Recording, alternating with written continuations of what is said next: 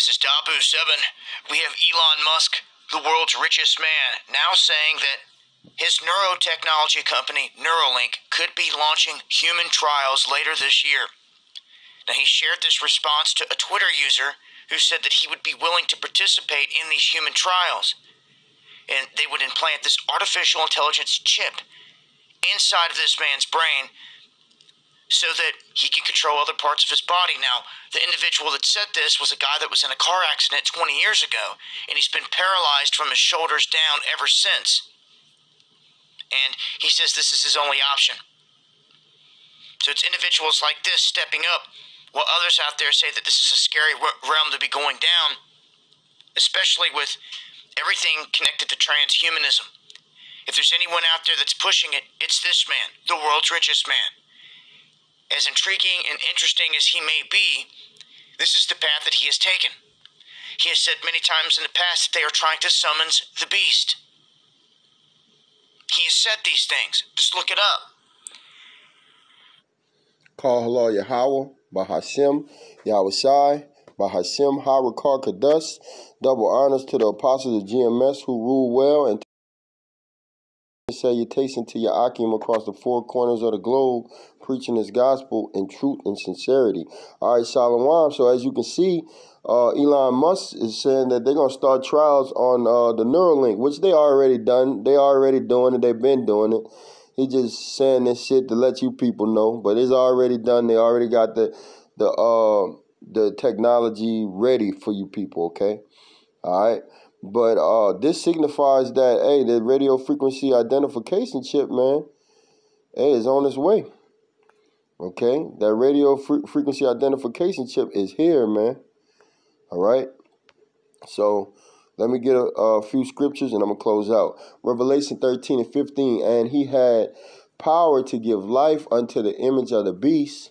All right, that the image of the beast should both speak and cause that as many as would not worship the image of the beast should be killed, man. And what's that image of the beast? All right, that's that Roman uh that's the Roman Empire re- reincarnated in America, okay? All their ways, their political system, democracy, okay?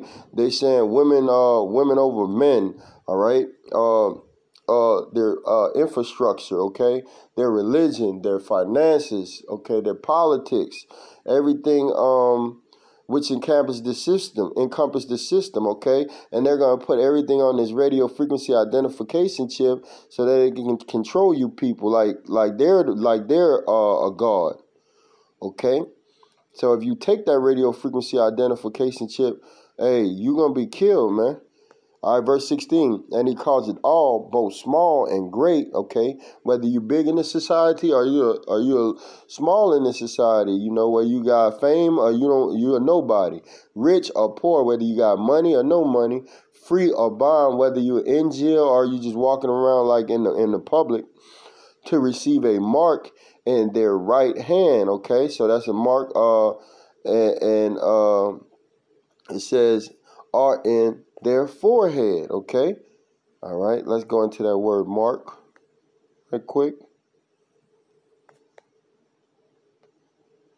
All right, because this is what they're trying to push on the message, and they got you people where they want you do gradualism, and they're going away from the uh, currency and they're going straight digital. Strong G 5480, Haragma. Haragma. Haragma haragma, a stamp, a imprint, mark. Okay, so they're gonna be uh inserting a a, a little uh it's gonna be like a rice grain.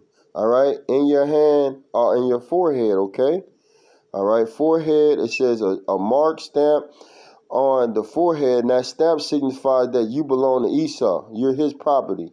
Or the right hand of the badge of the followers of the Antichrist. Okay, see you, and it signifies that you're against Yahweh Sim Yahweh man.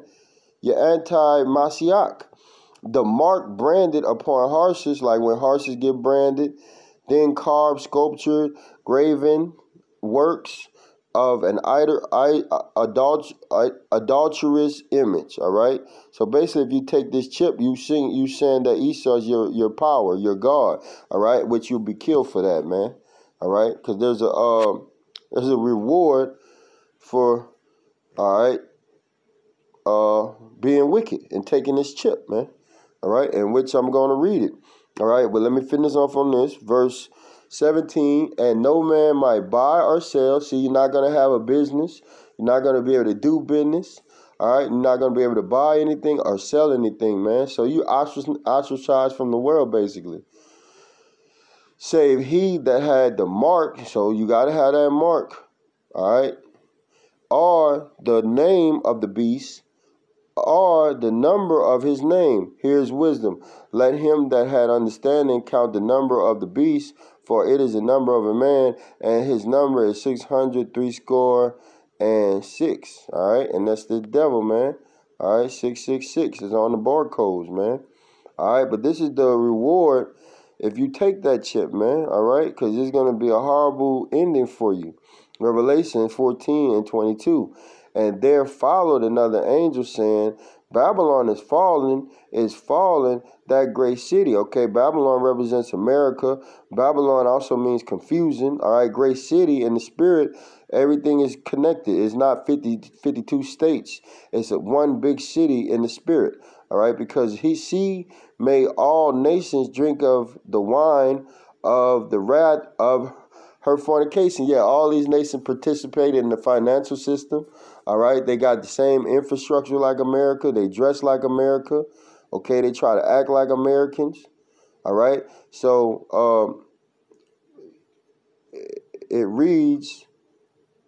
Okay, so so uh, America is falling, man. All right, let me see this again.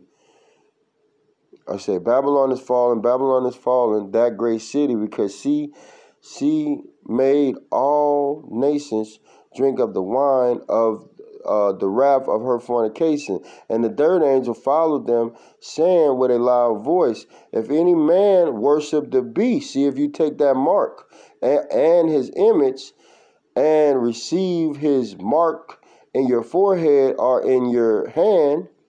All right, here we go in 10. The same shall drink of the wine of the wrath of Yahweh Shem Yahweh. So you're gonna you're gonna partake in that wrath, man. All right. That wrath that Yahweh outside got for Esau and these other nations, two thirds, you're going to have to partake in it too by following him, hand joined in hand. All right. And he shall be tormented with fire and brimstones in the presence of the holy angels and in the presence of the Lamb. See, you're going to be tormented, man. All right. Yahweh Shem outside is not playing with you niggas, man. All right. Not playing with you niggas, man. All right, these people are gonna be tormented, man. It ain't gonna be no good. It ain't gonna be pretty, man. All right, these people are are, are about to die horrible death.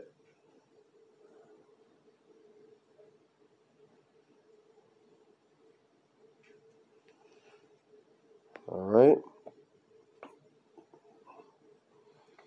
So that's what's coming to Babylon, and um.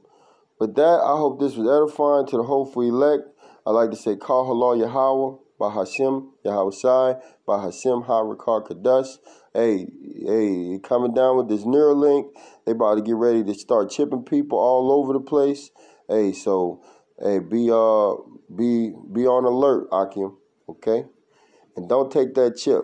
Call Halal Yahweh by Hashem Yahweh Sai. Baba Ball, Kwame Yasala, Salawam.